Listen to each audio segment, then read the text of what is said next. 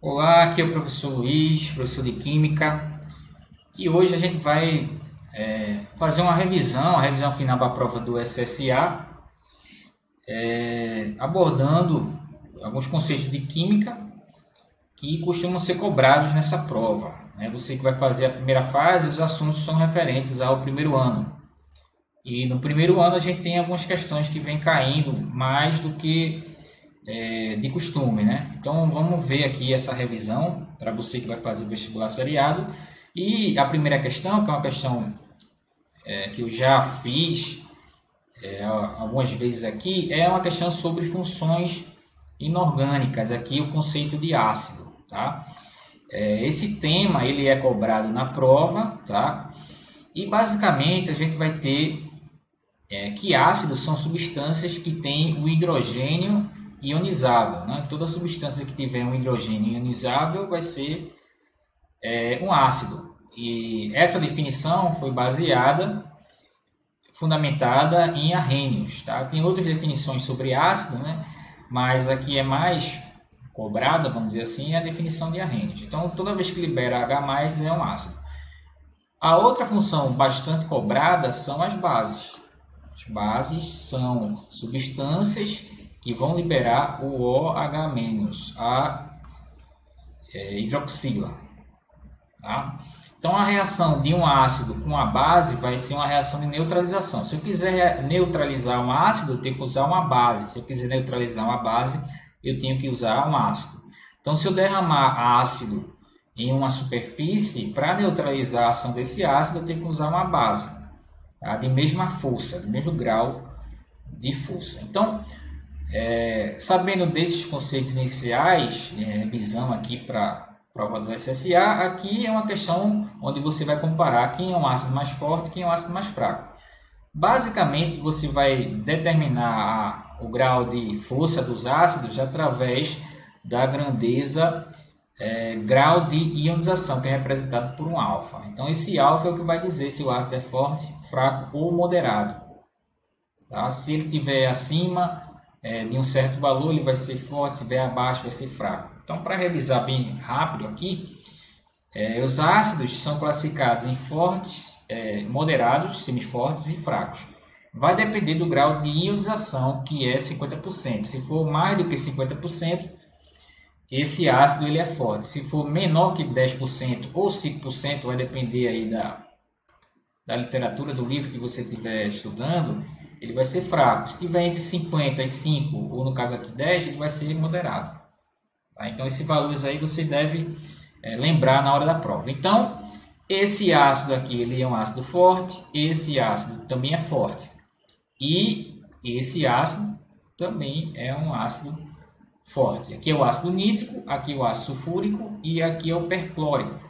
Tá? Esse ácido aqui é classificado como moderado e esse aqui é o ácido fraco, o ácido bórico, assim como o ácido carbônico. E aqui é o ácido fosfórico. Então a pergunta é sobre essa classificação de forte, fraco ou moderado. Letra A, H3, que é o ácido fosfórico, é mais forte? Não, ele não é mais forte. Ácido nitro é moderado? Não. O perclórico é mais fraco? Não. O perclórico é o mais forte de todos.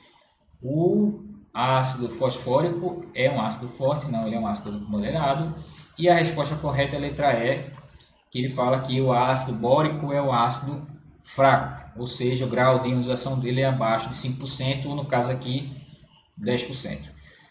É, seguindo aqui a mesma linha de força dos ácidos, a gente tem uma família, né, que é a família dos é, halogênios, né, halogenídicos, que são, vão derivar, vão formar ácidos, hidrácidos.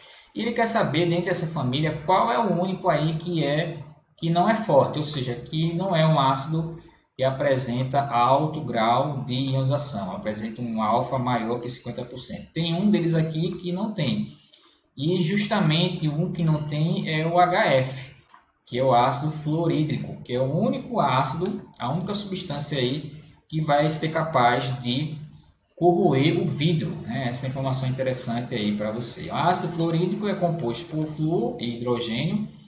Ele é um líquido incolor, é, tem um ponto de ebulição 20 graus, ou seja, ele é um gás a temperatura ambiente.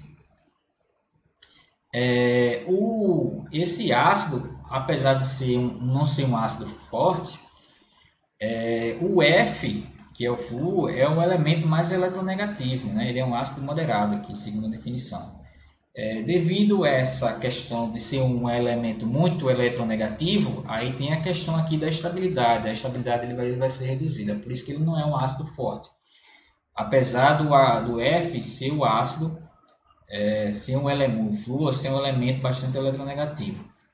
É, outra coisa interessante é que o HF forma pontes de hidrogênio, forma uma ligação de hidrogênio. Tá? Então aqui a resposta dessa questão aqui para a gente revisar foi a letra E, ácido fluorídrico. Ele não é um ácido forte.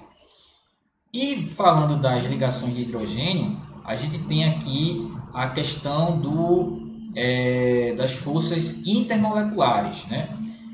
É, o H2, H2O e o H2S. Que tipo de ligação vai acontecer aqui? Tá?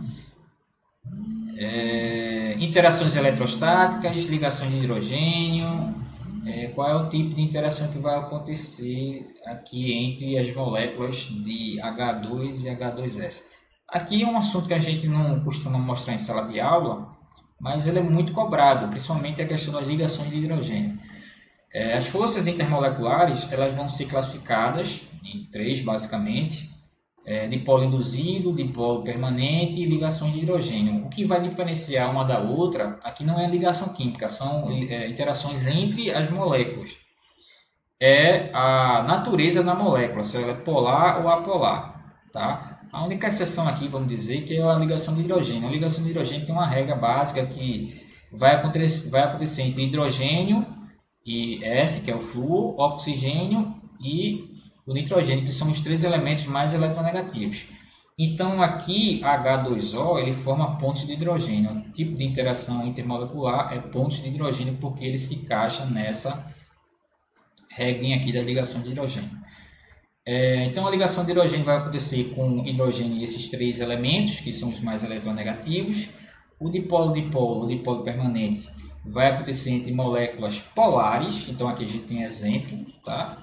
E por último, as ligações do tipo dipolo induzido, é, que no caso vai acontecer entre moléculas apolares. Tá? No caso do dipolo-dipolo, é a resposta é o H2S. Né? Vai acontecer aqui, ele é uma molécula polar. É, o enxofre é mais polarizado, é mais eletronegativo do que o hidrogênio. Então aqui a resposta para essa questão é a letra, a letra D é, a ligação de hidrogênio para a água, H2O, e dipolo-dipolo para o H2S. E é, tem uma questão aqui sobre sólidos, né? Ligação iônica. Ele quer saber qual das substâncias aqui conduz corrente elétrica no estado sólido. Mas conduz em solução. Ah, tá, entendi. Ele quer saber qual a alternativa que diz que a substância vai conduzir corrente elétrica é, não no estado sólido, mas em solução, é, em solventes polares. A única alternativa que a gente tem aqui é a letra A, que é o cloreto de sódio. Né? O cloreto de sódio, sal de cozinha, ele conduz corrente elétrica quando é, solubilizado. Né? A única alternativa possível seria ela e talvez a letra C, mas a letra C não é, ele não é um composto é, no estado sólido. Né? E para a gente revisar essa parte aqui do SSA, a gente tem uma questão sobre é, ligação química. Então eu tenho dois elementos, o alumínio, que tem número atômico, e o S, né, o enxofre, que tem esse número atômico 16. Então aqui vou formar uma ligação entre os dois. Que tipo de ligação vai acontecer? Como ele deu o valor do número atômico, então você tem que fazer a distribuição eletrônica, tem que saber quantos elétrons cada um tem na última camada. Então aqui vai ser, para o alumínio, vai ser o 2P6 e o 3S2, 3P1, né, para chegar até o número 13. E para o caso do enxofre, o S é um S2, 2S2, é, 2P6, 3S2 e 3P4. Pronto. Aí a partir disso a gente descobre quantos elétrons tem na última camada. É, o alumínio tem 3, que são esse, esse mais esse, que vai dar 3. E esse aqui ele vai ter 6. O que, que vai acontecer? O alumínio ele vai perder 3 elétrons. Tá? Ele vai ter que perder 3 elétrons aqui para poder chegar à estabilidade. Enquanto o enxofre ele vai receber 2 elétrons. Então ele fica com carga menos 2. O alumínio fica com carga 3 mais e o enxofre fica com carga 2 menos. Para saber, esse tipo de ligação aqui é ligação iônica. Então já elimina a letra C, D e E. Fica a letra A e B. Para saber qual é a fórmula, basta você pegar a quantidade de elétrons que um precisa perder com a quantidade de elétrons que um precisa receber. Então aqui eles trocam as cargas para a quantidade de átomos. Então vai ser a fórmula dele vai ser o Al2S3 que é a letra B. Tá? Então a gente revisa essa parte aqui e volta aí no próximo vídeo sobre algum tema importante para é, a prova do SSA. Tá? Até a próxima.